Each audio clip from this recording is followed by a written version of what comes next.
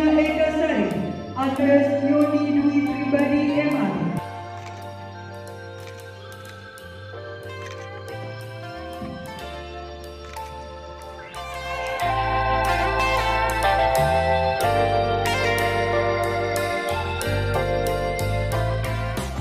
empat orang ya baik jurusan sekretaris jurusan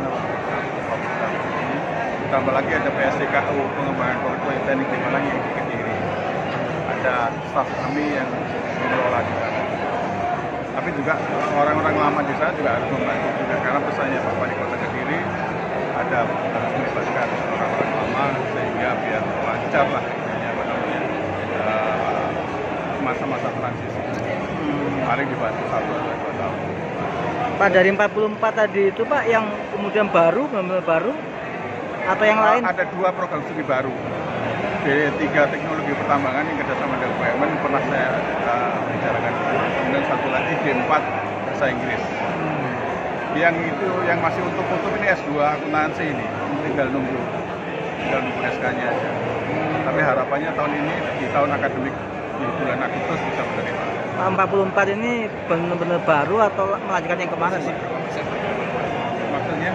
Komposisi yang komposisi orang barunya? Oh, saya nggak hafal, saya nggak hafal, saya nggak hafal. Jadi yang ada yang lama, ada yang baru. Nggak paling sekitar yang baru 40 persen, yang lama 60 persen.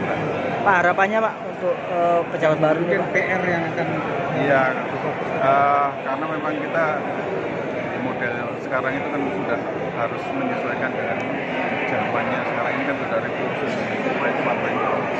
kita juga mengarah ke sana. Semua nanti terkait eh, proses belajar mengajar kita mengarah ke e-learning juga. Walaupun e-learning juga kurang tepat dibanding awal diterapkan di politeknik karena politeknik kan sistem pembelajarannya kan harus kompeten ya harus lebih banyak prakteknya. Tetapi ada teori-teori yang harus kita sisihkan pakai e-learning dan pakai uh, memanfaatkan. Tidak lepas juga pasti yang 60% itu harus skill yang